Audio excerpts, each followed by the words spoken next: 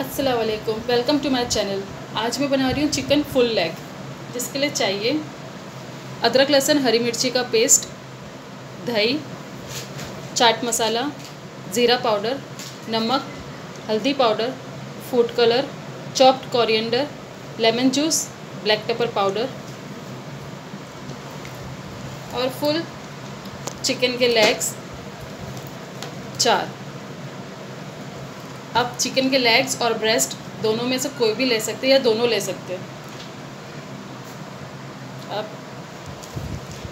अब मैं बनाऊँगी इसका बैटर जिसके लिए चाहिए चार टेबल स्पून अदरक, लहसुन, हरी मिर्ची का पेस्ट ये डेढ़ किलो है, इसके लिए लगेगा चार टेबल स्पून और पाव किलो दही.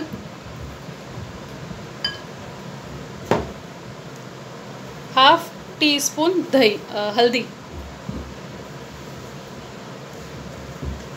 एक टीस्पून भर के ज़ीरा पाउडर एक टीस्पून लेवल चाट मसाला. एक teaspoon level black pepper powder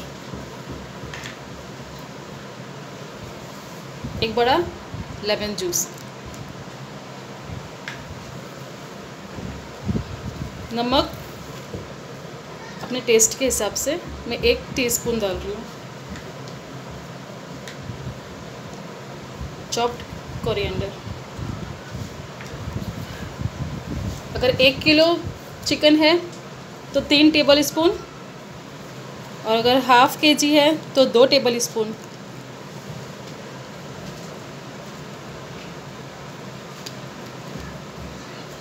इसको अच्छे तरीके से मिक्स कर लियो मैंने।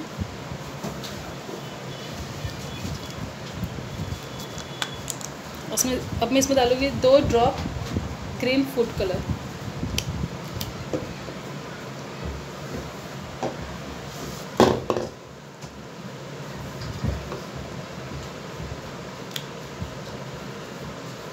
इसको मैंने अच्छी तरीके से मिक्स कर लूँ। अब इसको मैं चिकन पे अच्छी तरीके से लगा दूँगी।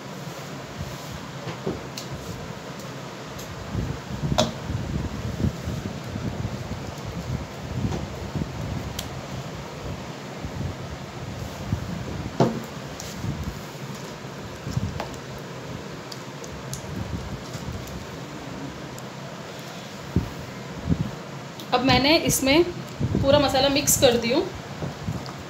लेकिन मैं डायरेक्ट बना रही हूँ। लेकिन आप इसको मैरिनेट होने के लिए एक घंटा ज़रूर रखना या जितना हो सके उतनी देर रखना तो इसका जब टेस्ट डबल हो जाएगा। अब मैं इसको डायरेक्ट फ्राई कर दूँगी। मैंने तेल गरम होने के लिए रख दी हूँ।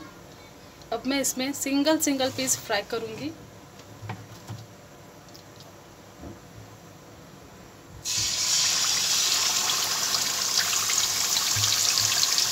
लो फ्लेम पे, क्योंकि ये बड़ा पीस है तो ये पकने के लिए थोड़ा टाइम लगेगा।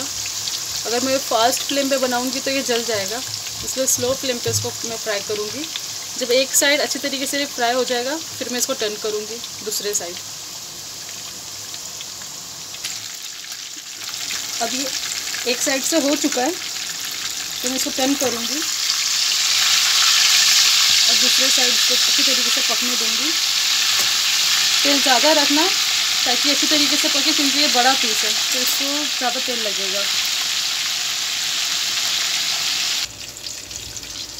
अब ये दोनों साइड से फ्राई हो गया है। तो मैं इसको निकाल दूँगी और अपने चारों पीसेस इसी तरीके से फ्राई कर लूँगी।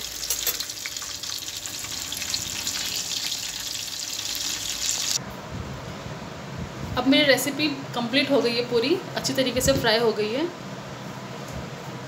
आप इसे किसी भी चीज़ के मीन्स दाल या और पराठा नान इसके साथ आप सर्व कर सकते हो। लेकिन याद रखना इसकी कुकिंग एकदम स्लो करना फास्ट नहीं करना वरना अंदर से कच्चा रह जाएगा। थोड़ा टाइम लगेगा पर ये अच्छी रेसिपी अच्छा बनेगा। अगर आपको मेरी रेसिपी पसंद आई है तो आप प्लीज़ इसे लाइक करना शेयर करना और बेल आइकन ज़रूर दबाना। Thank you